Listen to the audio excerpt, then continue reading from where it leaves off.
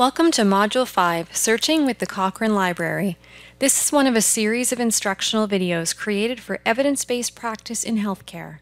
Evidence-based practice is supported by the librarians at the Kellogg Health Sciences Library.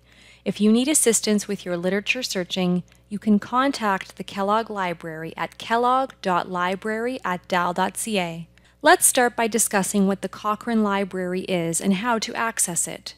The Cochrane Library is a source of the best evidence for healthcare interventions.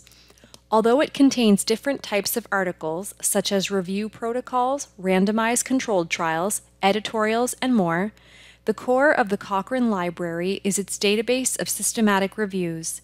These full-text Cochrane reviews synthesize the highest quality evidence, usually randomized controlled trials, and give you the clinical bottom line on whether a particular intervention is effective. If you find a Cochrane review on your question, it may mean you need look no further.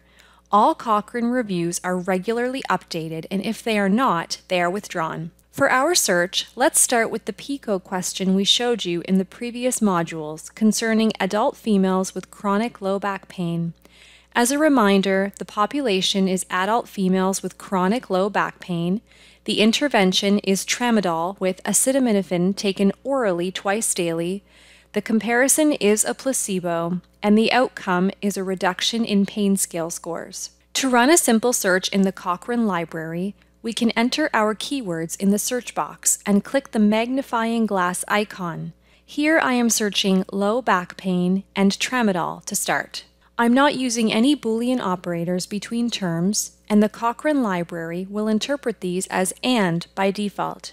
Now I am clicking the magnifying glass icon and my results appear on the next screen where they are grouped by different article types. If a Cochrane review is found, that is displayed first, as is the case here. Since tramadol is in the opioid class of drugs, the second review looks like it might address our question. If there is no Cochrane review, the next choice would be to look at the Trials tab to see the list of randomized controlled trials that match this search. Worth noting is the Cochrane Library lists citations for over 700,000 randomized controlled trials, dating back to the late 1940s when modern trials began. This is more than you will find in any other source, including PubMed. Let's return to our initial results screen, which showed one Cochrane review that looks relevant to our search query. The tag below the listed authors that says review indicates that it is a completed review as opposed to a protocol, which indicates a review in progress. To view the full text of this review, click on the title. On the next screen, we have the abstract of the article, as well as a navigation sidebar on the right of the screen. The navigation sidebar allows you to jump to various sections of the article, such as the results or author's conclusions. To see the exact search strategy that was used for a Cochrane review, click Appendices.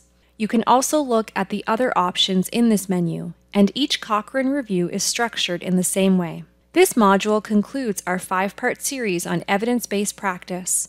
If you would like to learn more about searching in support of evidence-based practice, you can check out our other videos in the description below. Thanks for watching. For subject guides, live help, other online tutorials, and contact information for the five Dalhousie libraries, check out the links in the description below.